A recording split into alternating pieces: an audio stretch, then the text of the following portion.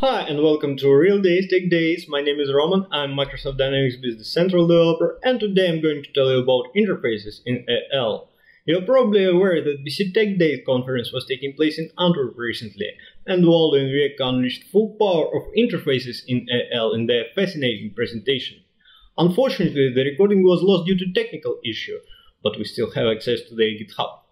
Later, when discussing with my colleagues, I came to an idea that some things that Waldo and Vjeko implemented can be a little bit challenging for those BC developers who are not into object-oriented programming.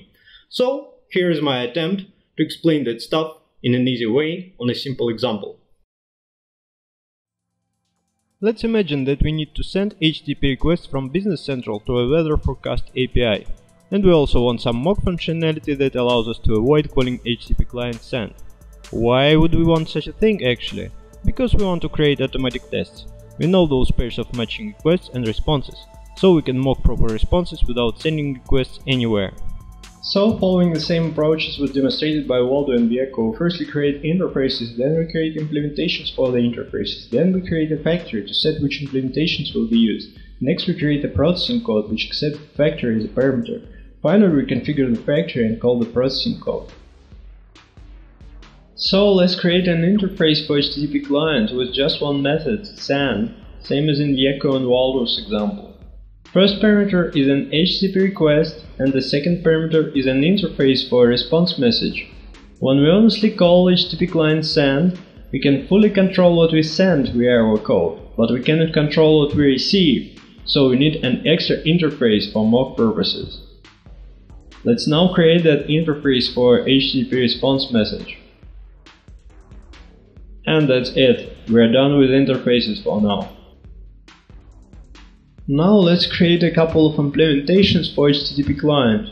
One is an honest implementation which calls HTTP client send, and another one is a mock version that only accepts requests and creates some response.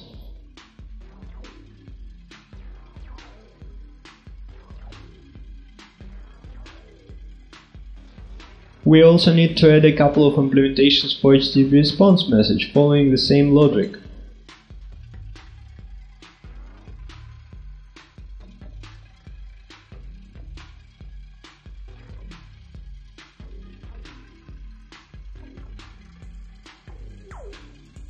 In our mock response message implementation, we don't need the response message itself. We just need properties like HTTP status code or response body we set in our mock HTTP client and then retrieve in our processing code.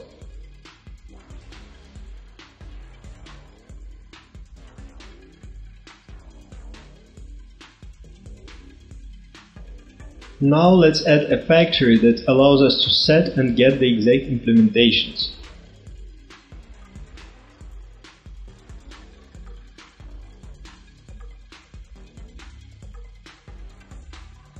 Let's make it simple. When the factory is not configured, then the honest implementations will be used. But we can also configure the factory to use mock implementations on demand.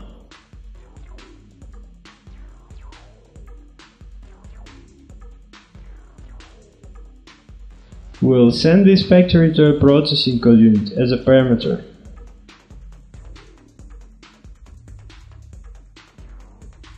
Now we just write the processing code which performs the request and processes the response.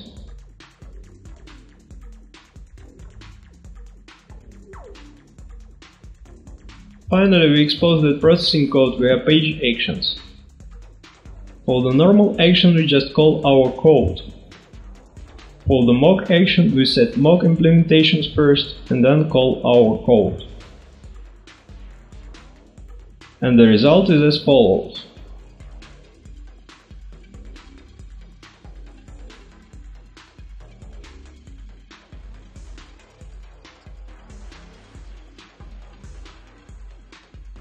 That's nice, isn't it? Now we can use it for creating automatic tests, but we can also use it for production purposes. For example, imagine if we had some enrichment process where some services could fail. But if they fail, then other services could do their job. In that case, we wouldn't care much about implementations and could also separate them. And we could use abstractions in our high-level code.